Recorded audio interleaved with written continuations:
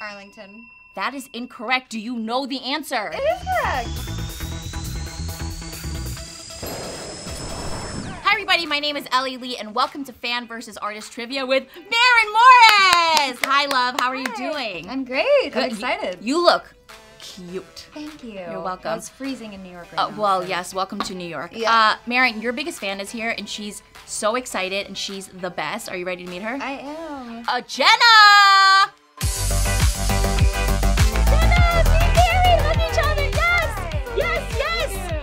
Gosh, Sid, how are you feeling? I'm good. I'm okay, ready. Uh, everybody is ready. Are you guys ready to play the tablet round? Now, Yeah. you will write the answer. You will not show each other. You will show the camera when you are done writing. Are you ready to play?